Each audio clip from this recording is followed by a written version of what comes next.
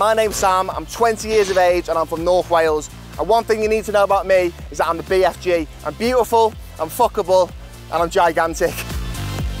The best three things about me is that I'm six foot five, I've got great kissable lips, and I'm great at pulling birds.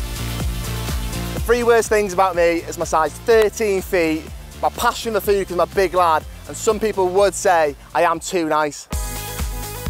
My relationship history has been a total fucking disaster. My last relationship was with the love of my life. I had my heart broken, it ended because we planned to go on a break, slept with another lad. Fuck that. My idea of a perfect first date is skipping the meal, let's skip the chat, and let's get straight down to business. My worst drunken moment has got to be running completely naked down the high street after losing a bet to my mates. Three sexy secrets you need to know about me is that I love having sex in toilet cubicles. I do love a cheeky finger up the I love having a nipple tweak as it really turns me on. One thing no one knows about me is that I was actually bitten by a shark and I've got the scar to prove it.